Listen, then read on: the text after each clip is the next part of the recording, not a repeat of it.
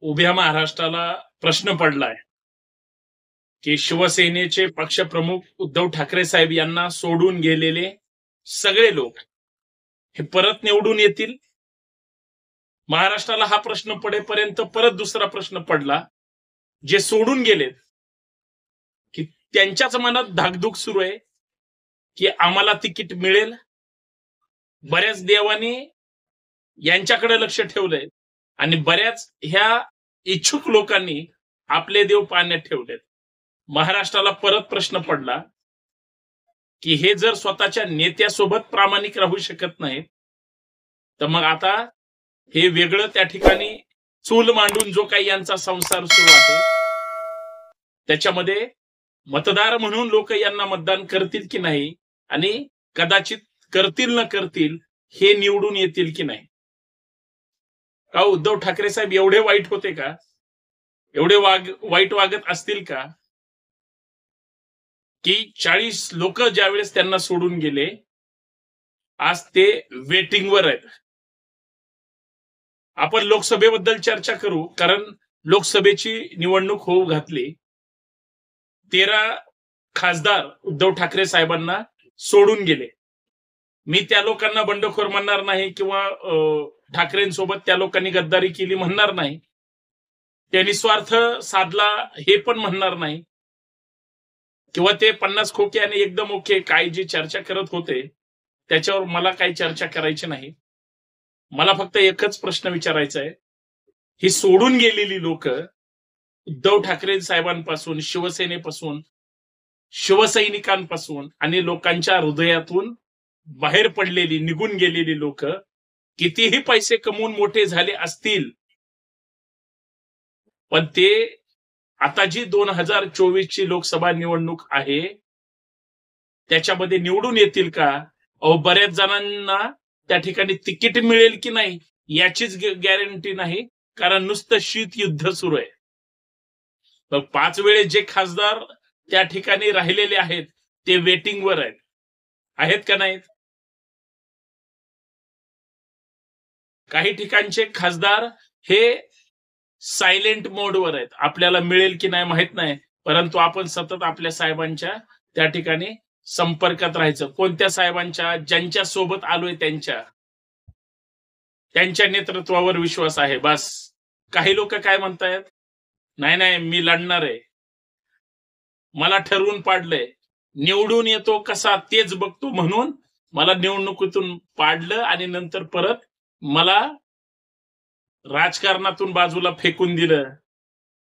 मी सुद्धा आता ह्यांच्या सोबतच आहे पण ह्यांनी सुद्धा मला गप्प बसवलं. मग मला सांगा निवडून येतील का? कारण हा महत्त्वाचा प्रश्न आहे. जी मतदार आहेत ते पाच सेकंदात या देशाचा प्रधानमंत्री ठरवतात. नुसतं आपल्या मतदारसंघाचा खासदार ठरवत नाहीत. कारण त्या मतदानातली ताकदच या देशाची लोकशाही समृद्ध करून ठेवतात. आता ती लोक आता डिजिटल युगात वापर म्हणजे वावरतायत. डिजिटल वापरतायत. समाजामध्ये राजकारणामध्ये इतर सगळ्या गोष्टीचा बारीक सारीक अभ्यास लोक करतायत. आता ती ही जी काही पक्षफोड झालेली आहे नुसती महाराष्ट्रात झाली का? दिल्लीचं तर किती वाटोळ केलं हो ह्या वाईट राजकारणानं. झारखंडचं किती वाईट केलं ह्या घाणेरड्या राजकारणानं. आणि देशात सगळ्यात वाईट झालं महाराष्ट्राच्या राजकारणाचं. झालंय की नाही झालंय? मग आता हीच लोक समजा तेरा खासदार उद्धव ठाकरे साहेबांना सोडून गेले त्याच्यात एका खासदाराचं तिकीट कापलं. तिथं दुसरा उमेदवार दिला. दिला की नाही दिला? ज्यांच्या सोबत गेले त्यांच्याबद्दल बोलतोय. शिंदे साहेबांनी किती लोकांची यादी जाहीर केली? आठ लोकांची केली. त्याच्यात एका ठिकाणी बदललाय आणि एका ठिकाणी दुसऱ्या पक्षातला आमदार तिकडं रिझाईन करून ह्यांच्याकडून उभा केलाय. तीही दोन. राहिलेले सहा. जुन्या लोकातल्या फक्त सहा लोकांच्या उमेदवाऱ्या जाहीर केल्यात. बाकीचे वेटिंगवर ठेवलेत वेटिंगवर सर्वोच्च नेत्यांनी स्वतःच्या मुलाचं सुद्धा नाव अजून पहिल्या यादीत घेतलं नाही. तो त्यांचा मोठेपणा असेल किंवा त्यांना अजून कुठला निर्णय घ्यायचा असेल काय निर्णय घेणार आहेत? कारण तीन पक्षामध्ये काही जागांवर वाटाघाटी वाद किंवा चर्चा ह्या तीनच गोष्टी सुरू आहेत. त्या त्या पक्षाचे कार्यकर्ते ऍक्शन मोडवर आहेत नेते ऍक्शन मोडवर आहेत बैठकांवर बैठका सुरू आहेत. दुसऱ्या बाजूला उद्धव ठाकरे साहेब मात्र ताकदीनं पक्ष बांधणी करतायत लोकांमध्ये फिरतायत लोकसंपर्क वाढवतायत पक्ष फुटलाय. म्हणजे त्यांचं जे पक्ष म्हणजे कुटुंब आहे. इतक्या मोठ्या भूकंपात सापडलं की सगळ्या भिंतीला चिरे पडले पत्रे त्या ठिकाणी ढासळलेत घर सगळं बेचिराग झाले त्यातून सुद्धा ते घर उभा करण्याचा प्रयत्न करतायत ताकदीनं. आणि भूकंपामध्ये काम केलेला नेताच त्यांच्यासोबत असल्यामुळं त्यांच्या भिंती पाया त्यांनी इतका मजबूत करण्याचा प्रयत्न केलाय स्वतःच्या जीवावर. उद्धव ठाकरेंनी परत एकदा चांगला पक्ष बांधण्याचं जे यशस्वी काम केलंय किंवा करतायत त्यांच्या त्यांच्या परीनं निवडणुकांमध्ये ती चुनूक दिसेल कदाचित. पण लोकांमधली खतखत ही उद्धव ठाकरेंना कदाचित कळालेली असावी. म्हणून ते कशाचीही तमा न बाळगतात. ते जाहीर सांगतात.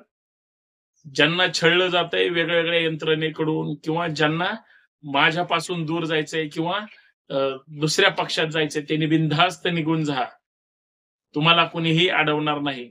पण उद्धव ठाकरे साहेब तुम्ही तुमच्यापासून निघून जायला सांगताय.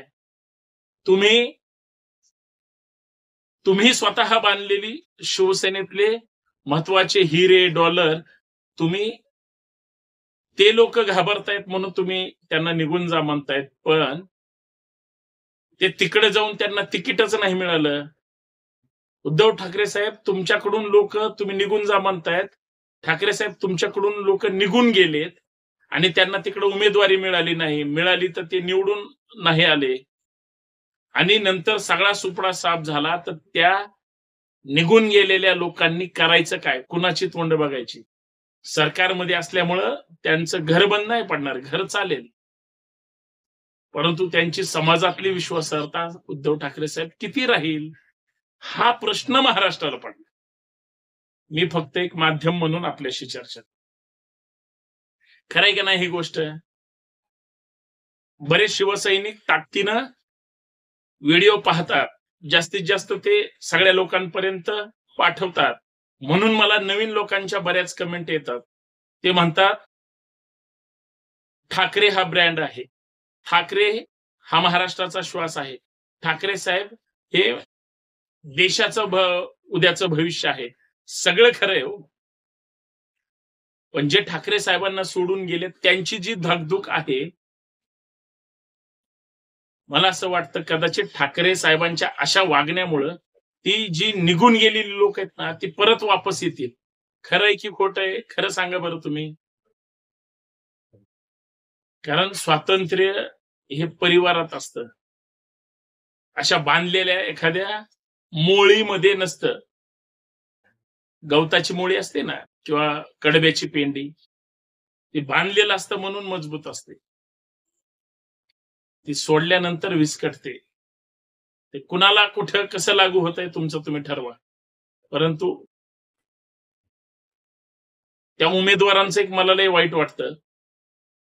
जे विद्यमान आहेत आणि कदाचित जे निघून गेलेत उद्धव ठाकरे साहेबांपासून आणि त्यांना वंचित ठेवलंय अजून उमेदवार त्यांच्या जाहीर केलेले नाहीत. अक्षरशः हृदयाची धडधड वाढली त्यांच्या. मिळतं की नाही मिळतं का नाही? आणि टीव्हीवर जर सांगितलं ना की ह्यांचा ह्यांचा पत्ता कट होईल. फोन सुद्धा उचलायला घाबरतात ते.